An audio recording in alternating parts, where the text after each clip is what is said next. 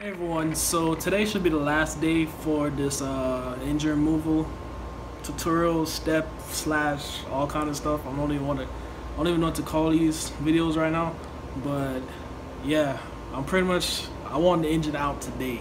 So once I have the engine out today, then I could go ahead and clean it up and uh, switch all the accessories. And I still gotta look into the wiring of what to do with these extra wires and stuff that I see on my engine, which is not on the donor engine. So I'm gonna go ahead and take the hood off right now and just gonna take this ground wire off, the number 10, and then up here these two bolts are number 11. And then same thing on this side, except it doesn't have a bolt, uh, not a bolt, uh, ground on there. And then for these, you just use like a flathead and just like pry out this piece right here and then just knock it that way and it comes right off.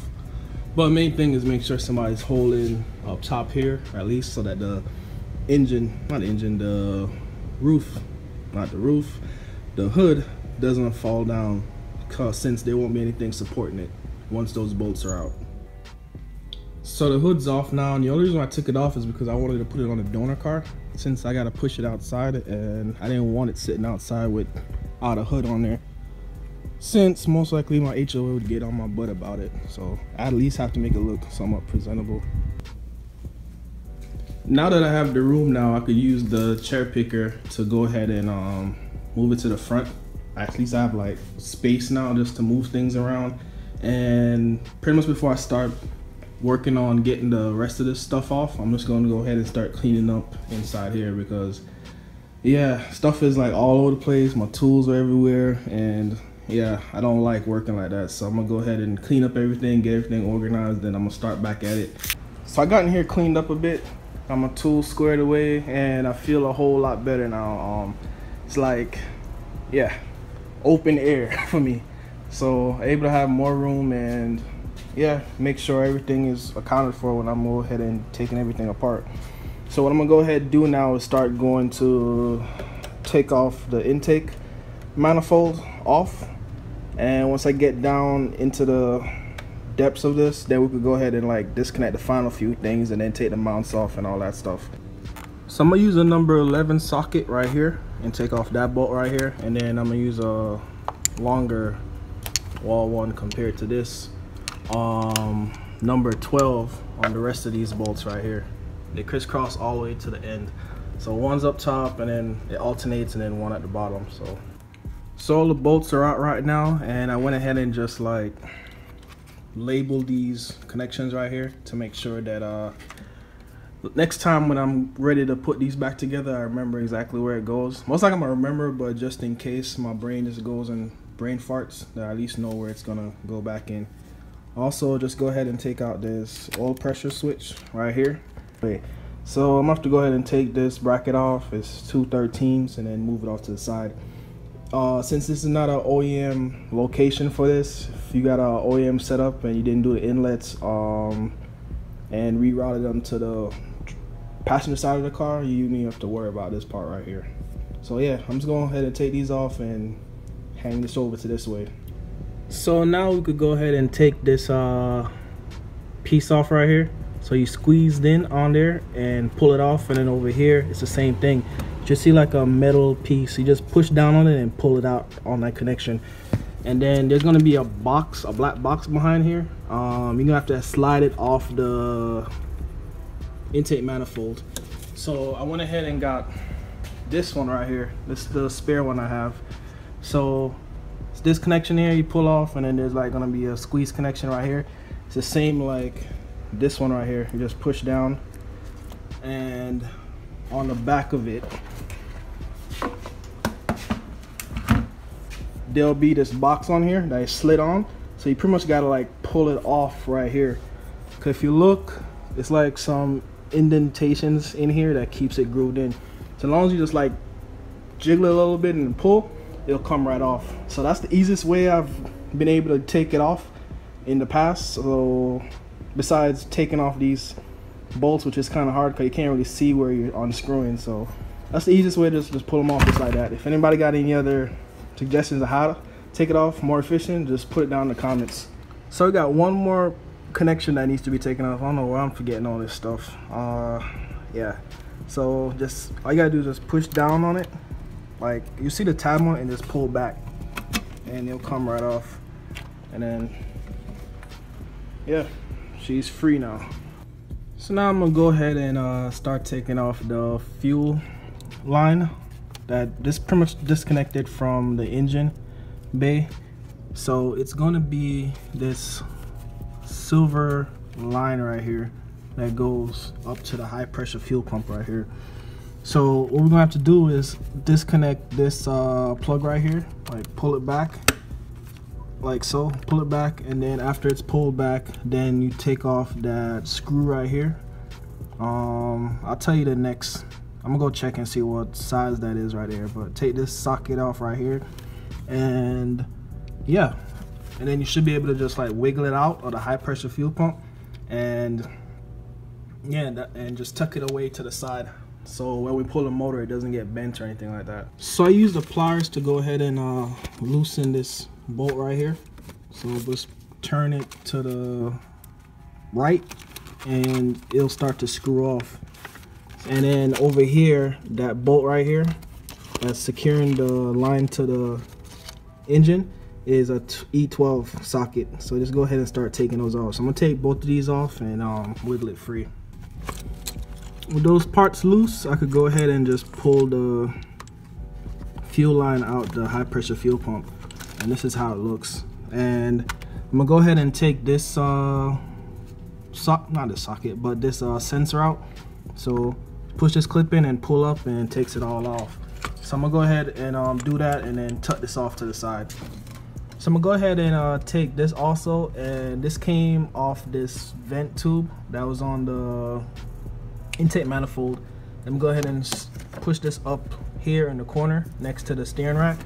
And then for the fuel line, it's on this bracket right here. So I'm just gonna pull these out of the bracket and then swing this over in the corner. But I'm gonna point it up because you leave it down, there's this fuel that's gonna keep on coming out of it. So I'm gonna go ahead and take this uh, AC line off the AC compressor using the number six. So I'm just gonna take this off and move it off to the side next to where the fuel line is. So to finish up the coolant system, I'm gonna remove this line right here. It runs all the way over to here and I use a flathead to go ahead and pull the pull this latch piece off. And all I gotta do is pull it off and it comes right off the block.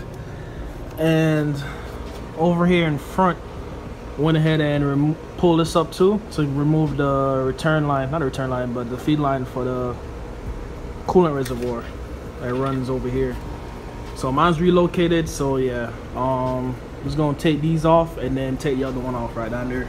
Now I'm gonna go ahead and start to take off this ground right here. It runs pretty much from the mount all the way over to the chassis. So I'm gonna take it off with a 13 millimeter right here. And then there's another ground right here. I'm gonna take that off with a, what is this? Uh, look like a 10 millimeter. So take these two grounds off and almost in the home stretch. So I'm gonna go ahead and unbolt this line off the chassis so it could come off with the engine. And it's a T27 on these. So I already started pulling them out, but yeah, just take these out and this should be able to come off with the engine. It pretty much routes all the way over here to the uh, water pump and thermostat connection. And then also for this line that goes up to here. So next I want to neat the car and I'm going to go ahead and take off these power steering lines. Uh, disconnect them from the body of the car. So right here is a 10 millimeter and over here is a 10 millimeter also. So taking a little break right now, just had my Capri Sun and yeah, the only thing I have left to do now is just to do the power steering. Uh, so just draining out the fluid and then disconnecting the hoses from the steering rack from the power steering pump and all that and then loosen the engine mounts so I'm gonna go ahead and also take uh, this engine off the engine mount and pretty much throw it on that tire and then hook it up to the engine and then pull it out. So my girl went ahead and got a cover for the car. She's like oh it doesn't look good with it out there sitting out there without any headlights and all that crap on there. So I'm like whatever. So went ahead got a cover for it and it looks pretty good sitting out there now and yeah. So pretty much I put a bucket underneath there and there's a bolt up here up top. So it's a 19 millimeter so I'm gonna go ahead actually I'm gonna take off both of them one's a 19 millimeter I believe the other one's like a 22 or 23 so going ahead and loosening this right now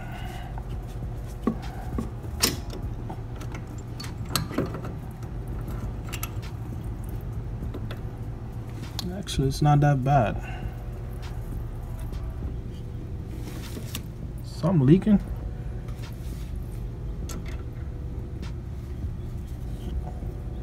Take these. Oh yes it is leaking. It's leaking to the side.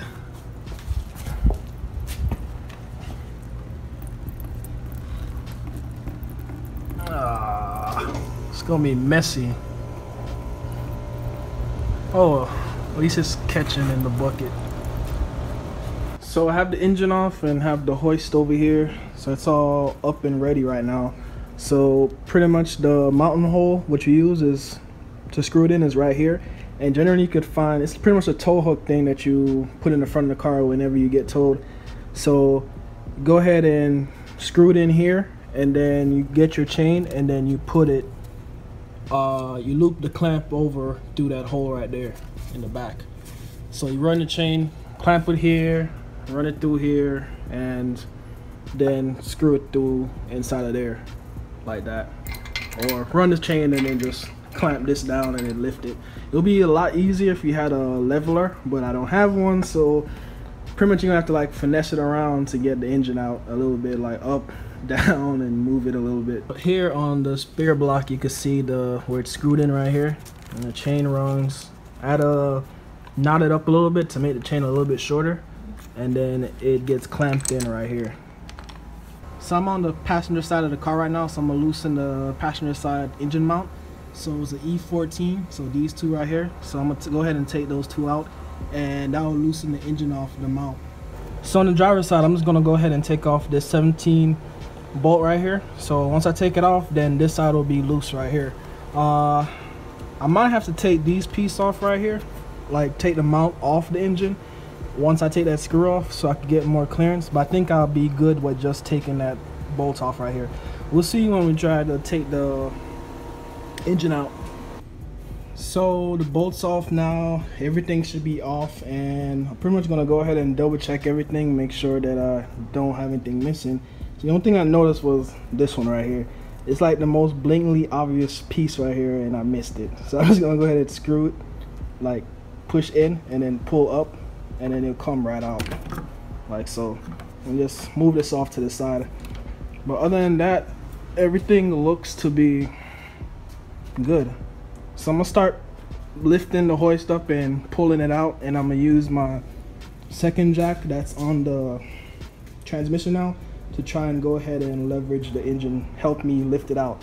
If I had a leveler, it would be much easier that way, but yeah, I'm just gonna try this way. So taking out the engine, I noticed that, yeah, I do have to take this bracket off, so I don't have the correct bit up here for it, so I'm just gonna use a 15, put it over hammer it over, and just go ahead and take these one, two, and that bolts over here off, and then take the bracket off, then I have enough room and clearance to take the motor out.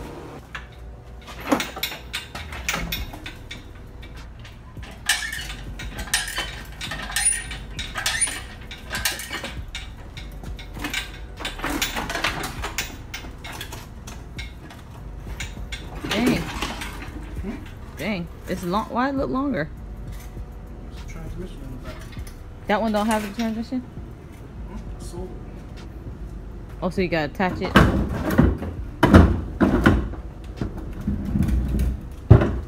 You move the car.